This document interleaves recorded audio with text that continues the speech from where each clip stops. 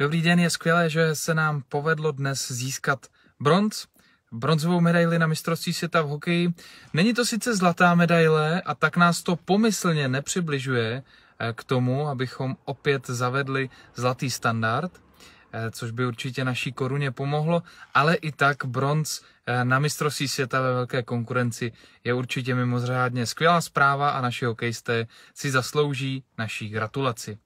No ale když už jsem tady zmínil eh, to zlaté krytí naší koruny, eh, tak to je téma, o které jsem s vámi chtěl už eh, nějakou dobu mluvit, protože právě česká koruna, která má za sebou nějaké krytí nebo je vyvažována velkou množinou devizových rezerv, Česká republika má jednu z největších devizových rezerv na světě, tak v tuhle tu chvíli je česká koruna v ohrožení.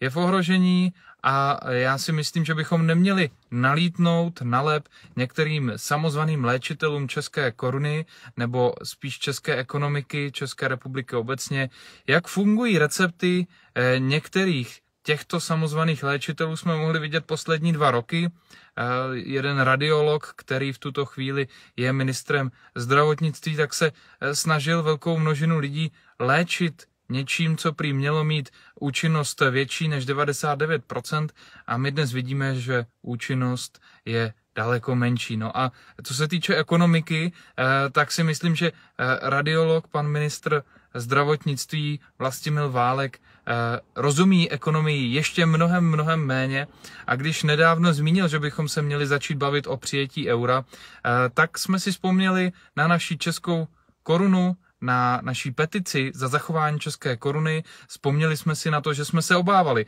že by po volbách mohla vzniknout vláda, která by mohla existenci české koruny ohrožovat a bohužel je tomu tak. Česká ekonomika je na tom špatně, v tuhle chvíli je Česká republika takovým pacientem, který leží na operačním stole. Eh, předchozí vláda zvorala eh, operaci, eh, dokonce se dostal do rány zánět, je tady inflace, pacient, to znamená česká ekonomie, česká ekonomika, Česká republika na tom není úplně ideálně. No a my, když se zbavíme své vlastní měny, tak je to jako kdybychom Eh, ztratili jeden z těch nástrojů, které můžeme k uzdravení naší České republiky a české ekonomiky použít. Takže silně varujeme před tím, abychom buď ztráceli českou korunu zcela, anebo přestupovali do RM2. I toto je nápad, který během kampaně zazněl ústy eh, stanu, ústy starostů, ústy pirátů. A já věřím tomu, že většina ekonomů na rozdíl od Eh, pana radiologa, pana ministra zdravotnictví ví, že eh, právě euro by nás mohlo přivést do dalších problémů. A tak, jak o tom píše i Lukáš Kovanda v příspěvku, který jsem dal do popisku tohoto videa, tak rozhodně euro není tím, co by nás vyvedlo z problému a co by zvrátilo index bídy nebo výši současné inflace. To jsou věci, které spolu ne tak úplně souvisí. Mnoho států má daleko vyšší inflaci, přestože platí eurem. No a tím pádem eh, je potřeba říct, že my bychom českou korunu nikdy neměli ztratit a kdo ještě nepodepsal petici za českou korunu, tak může na www.zapomlčkakorunu.cz.